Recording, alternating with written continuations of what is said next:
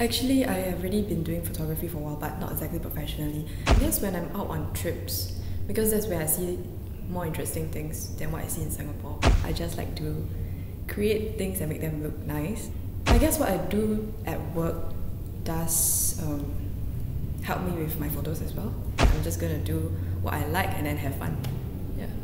The experience itself would be something that's very rewarding already, that no money can buy.